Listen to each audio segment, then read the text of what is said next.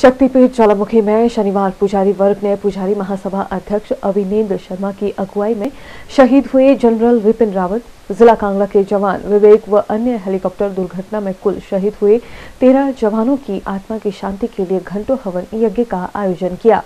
सभी पुजारी वर्ग द्वारा माचवाला से प्रार्थना की गई कि सभी शहीदों को भगवान अपने श्री चरणों में स्थान दे। इस बारे में पुजारी महासभा अध्यक्ष पुजारी अविनेन्द्र शर्मा ने बताया कि शनिवार माचवाला के चरणों में सेना अध्यक्ष विपिन रावत और जिला कांगड़ा के जवान विवेक सहित अन्य शहीदों की आत्मा शांति के लिए पुजारी वर्ग ने शक्तिपीठ में हवन यज्ञ किया है और माचवाला से प्रार्थना की है। आज ज्वाला जी के चरणों में हम सभी पुजारी वर्ग ने, हमारे सेनाध्यक्ष श्री विपिन रावत जी के शहीद होने के दुख में महामाई से प्रार्थना की कि महामाई उनकी आत्मा को शांति प्रदान करे अपने चरणों में बास दे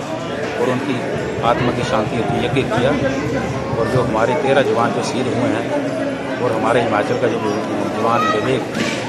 वो भी शहीद हुआ उसके लिए मैंने माता से प्रार्थना की कि उनके परिवार को महामारी इस दुख को सहने की क्षमता प्रदान करे और उसको अपने चरणों में निवास दे। दुख की वेला में हम महामारी से यही प्रार्थना कर रहे हैं कि उनके परिवार को इस दुख को सहन करने की क्षमता प्रदान करे और हमारे जो शहीद हुए हैं, उनको आत्मा को शांति प्रदान करे। जय माता सिटी चैनल के लिए ज्वालामुखी से पंकज शर्मा की रिपोर्ट।